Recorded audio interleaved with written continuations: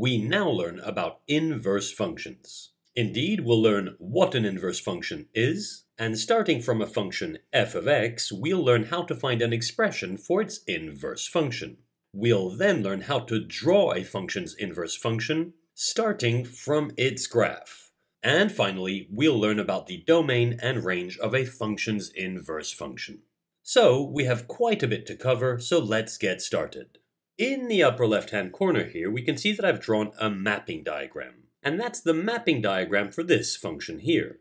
That's f of x, which equals to 2x plus 6.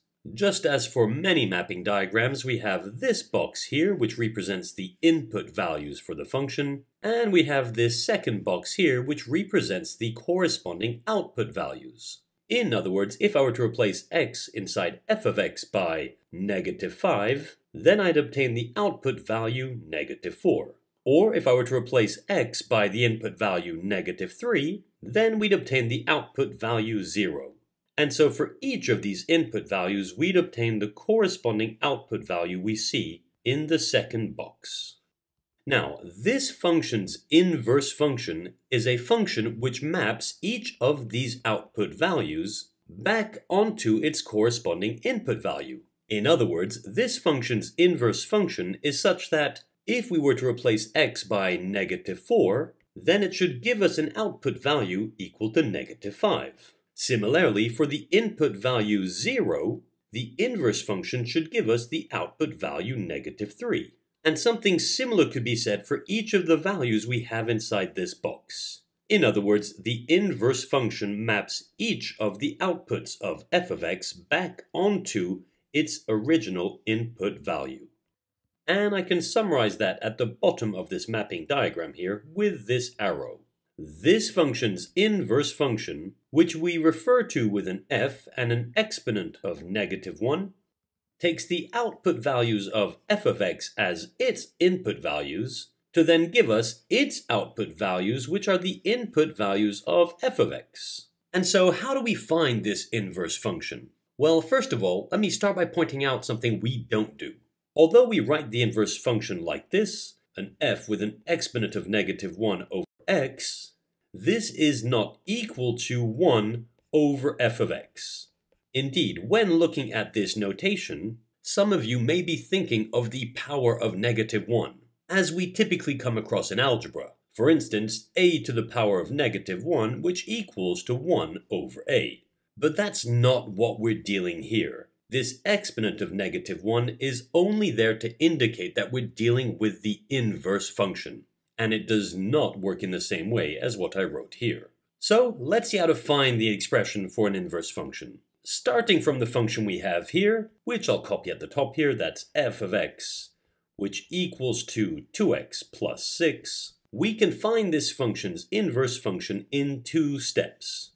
The first step, step 1, is to start from the expression y equals to 2x plus 6, and to rearrange this to make x the subject. And for that, the first thing I'll do is get rid of this 6, which is being added to the right-hand side. And I do so by subtracting 6, which I do to both sides of this equation. And that leads us to y minus 6 equals to 2x. Next, on the right-hand side, I can see that x is being multiplied by 2, and so I get rid of that 2 by dividing both sides of this equation by 2 which leads to y minus 6 over 2 equals to x, which I can rewrite as x equals to y minus 6 over 2. And although we don't have to, I like to split this fraction into two separate fractions to write x equals to y over 2 minus 6 over 2. In other words, x equals to y over 2 minus 3. And that's the first step done. We've now rearranged the expression we started off with to make x the subject. And so I move on to the second and final step, step 2, in which I swap the x and the y in the expression I just found, and I define the inverse function.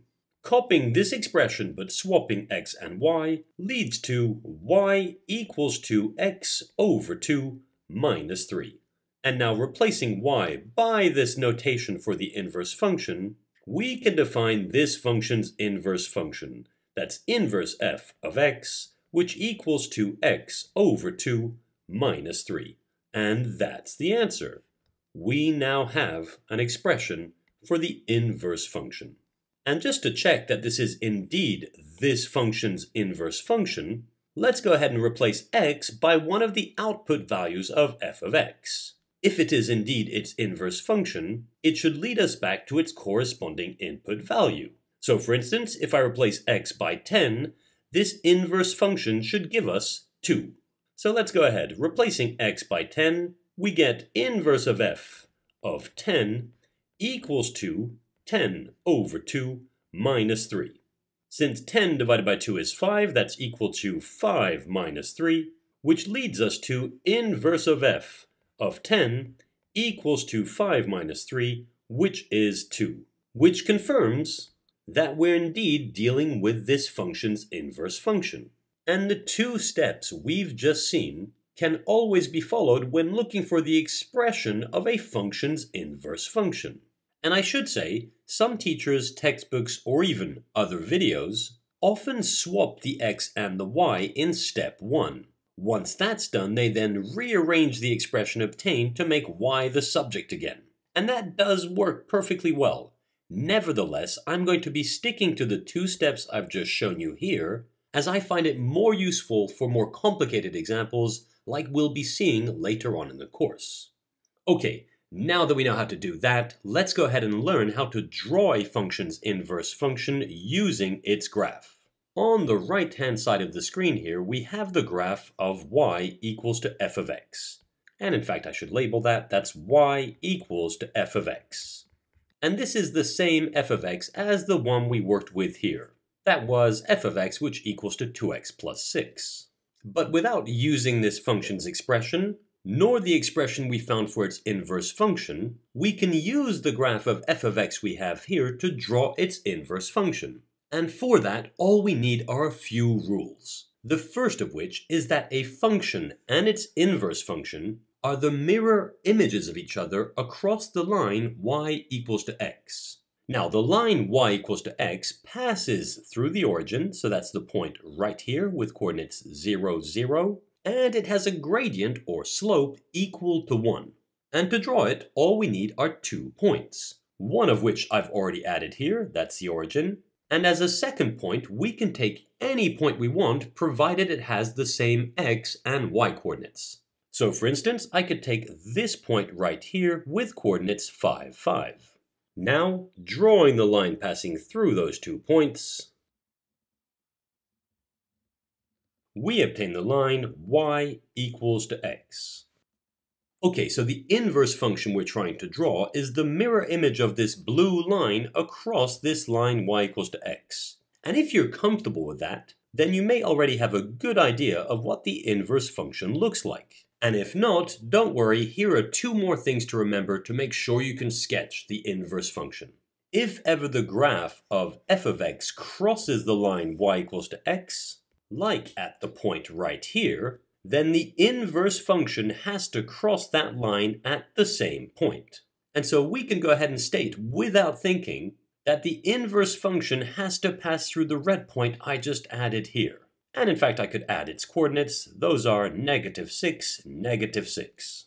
And finally, a fundamental rule to always remember is that if y equals to f of x, passes through a point with coordinates a and b, then the inverse function has to pass through the point with coordinates b, a.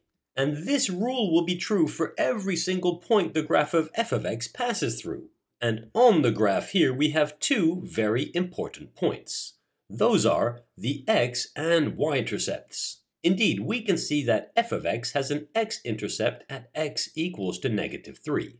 In other words, it crosses the x-axis at negative 3. Now, if we wanted to, we could be more specific and state that that point has coordinates negative 3, 0. And so using the rule we stated above here, this tells us that the inverse function has to pass through the point with coordinates 0, negative 3, which would be right here on the y-axis. And in fact, I'll label that, that's negative 3 on the y-axis. Similarly, we can see that f of x crosses the y-axis at 6. And once more we could be more specific and state that that point has coordinates 0, 6. And so this rule tells us that the inverse function has to pass through the point with coordinates 6, 0, which would be right here on the x-axis. And so I'll label that that's 6 on the x-axis. And what we quickly realize here is that from a function to its inverse function, the x and y intercepts are swapped. And so using that, as well as the fact that the inverse function is the mirror image of f of x across y equals to x, and the fact that it has to pass through this point here, we can draw the inverse function, and it would look something like this. There we go. Of course, with a ruler this would look far better. But we've just sketched the graph of this function's inverse function. And the good news is, the rules we've just seen here to draw this function's inverse function will always be true, so do make a note of them. Okay, at this stage we have a good idea of what a function's inverse function is and does. We know how to find its expression, and we know how to draw it using the graph of f of x. But what about its domain and range? Well, let me go back to this mapping diagram for a second. The fact that the inverse function maps each of the output values of f of x back onto its input values tells us all we need to know about the domain and the range of a function's inverse function. And that is that the domain, domain of inverse f of x equals to the range of f of x, and that the range of inverse f of x is equal to the domain of f of x. And this is a very important result, and it's often used in exam questions, so do make a note of it. Indeed, provided we know or can find the domain and range of a given function, then thanks to this rule, we can state the domain and range of its inverse function. In fact, here's an example. Let's say we were given the function f of x, which equals to the square root of x minus 4 plus 1 and we were told that its domain is equal to all real numbers from 4 included up to positive infinity, and its range is equal to all real numbers from 1 included up to positive infinity. Alternatively, another and perhaps simpler way of writing this domain would be x is greater than or equal to 4, and for the range we could write y is greater than or equal to 1. Now, let's say we had to state this function's inverse function's domain and range. Well, this function's inverse function would be inverse f of x, and it's equal to x squared minus 2x plus 5. Don't worry, I'll show you how to get this expression before the end of this video. For now, though, I want to focus on this inverse function's domain and range. What this rule allows us to state without even thinking is that its domain is equal to the range of f of x, so its domain is equal to all real numbers from 1 included up to positive infinity, and its range is equal to the domain of the original function f of x.